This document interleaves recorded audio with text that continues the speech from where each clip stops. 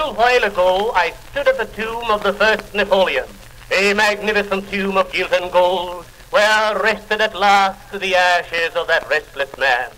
I looked at that tomb, and I thought about the career of the greatest soldier of the modern world. As I looked, in imagination I could see him walking up and down the banks of the Seine, contemplating suicide. I could see him at Paris, putting down the mob. I could see him at the head of the army of Italy. I saw him in Egypt, fighting battles under the shadow of the pyramids. I saw him conquer the Alps and mingle the eagles of France with the eagles of Italy. I saw him in Russia, where the infantry of the snow and the blast smote his legions, where death rolled the icy winds of winter. I saw him escape from Elba and retake an empire by the force of his genius.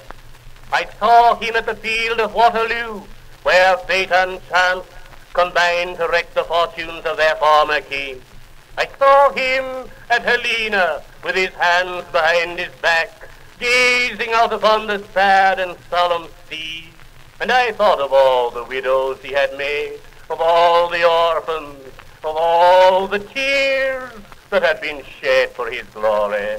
And I thought of the woman, the only woman who ever loved him, pushed from his heart by the cold hand of ambition.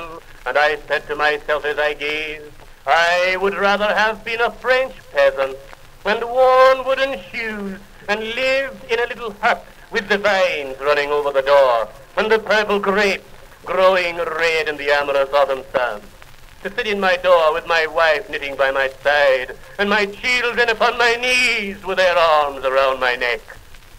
I would rather have lived and died unnoticed and unknown except by those who loved me, and gone down into the voiceless silence of the dreamless dust, than to have been that imperial impersonation of force and murder who covered Europe with blood and tears.